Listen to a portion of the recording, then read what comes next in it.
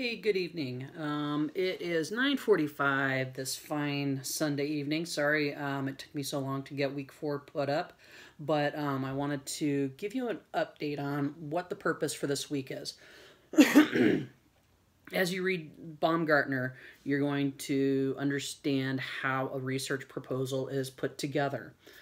In this class, we're going to learn how to do a synthesis proposal. So the PowerPoint highlights those differences and what the book says is best practices for a research proposal versus what we do at Brockport for a synthesis proposal. So I need you to understand that there's two different ways to do this. Now, if you choose to do a, a thesis, then what will happen is um, you'll actually follow what Baumgartner says, and um, you'll need to then um, go really take that prospectus idea that you're going to be creating um, this semester, and, and that's going to be something that you're going to want to use when you put together your committee. Um, that's if you choose to do a thesis. Now, you're going to write a prospectus for me for your synthesis just so I can clearly see what your topic is going to be this semester. A number of you um, were unsure and you didn't know um, what you wanted to study and examine. And so now, hopefully, by week four, you have that idea. So, um, what I did this week is I, I, uh, in in the PowerPoint, there's three parts to it. The first part is all about Baumgartner and the the the proposal process. The second part, um, I, I got a desk copy of this book called The Literature Review, um, Six Steps to Success and um, I love how it broke down the um, how to select a topic. Now the cool thing is I, I posted a PowerPoint that um, has information. If you're still unclear on how to select a topic, this is the week to finalize that. So go through those steps and really um, use the little tasks and the activities that, that the PowerPoint outlines and the notes outline in the PowerPoint and and refine your topic. Um, the third part of the propo- of, of the PowerPoint outlines what your actual synthesis project is going to look like. Um, and so I've, I've added the suggested time, uh, page limits uh, for each section um, with little hints on where you're going to be learning that information throughout the semester.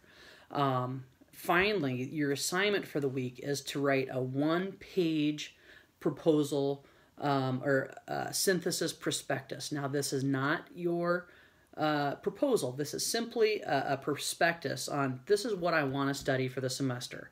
Um, if this was a thesis, basically you would write up a page. Um, if you're a really good student and you don't want to piss off people and waste their time, you would write up a page um, that outlines what your problem is because you've got to be able to answer your problem, answer what your study is within two or three tight sentences. Um, you know, some, especially for those who, who might want to go on to do a PhD, um, doctoral advisors are not going to want to sit there with an, for an hour hashing out that topic with you. And so they're going to expect you to have that.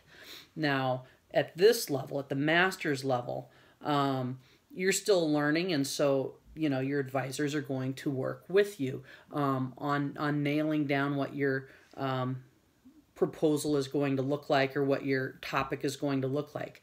But you still have to gather committee members. Um, and I know for myself, um, if a student comes to me and they ask um, to uh, ask me to be on their committee, I'm going to want them to be able to articulate what they have. And I want them to have thought about the methodology on how they were going to examine that project because you want to graduate, you want to get done, and you want to move on and, and not think about this for the rest of your life. So, um, the more work you can do up front, the better you're going to be um, as you go through the program. Um, my mantra is work smarter, not harder and and that's something that that I I learned when I was doing my PhD because I I was a single mom. I I worked three jobs. I coached two sports. I, I supervised a kitchen in a county jail uh, from Friday to Sunday for 32 hours just so I can get my health insurance.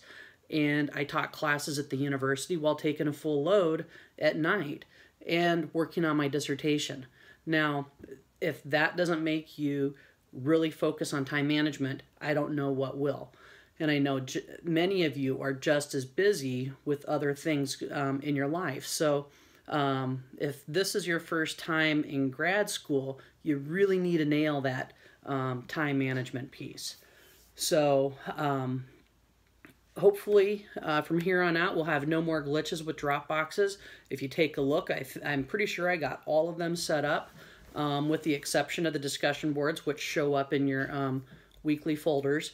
Um, and so from here on out it's it's just simply me revising the assignments and and uh, getting them in the Dropbox for you guys on time so that you can really get moving on your work. So um, I hope you guys have a great week and um, I'll see you online.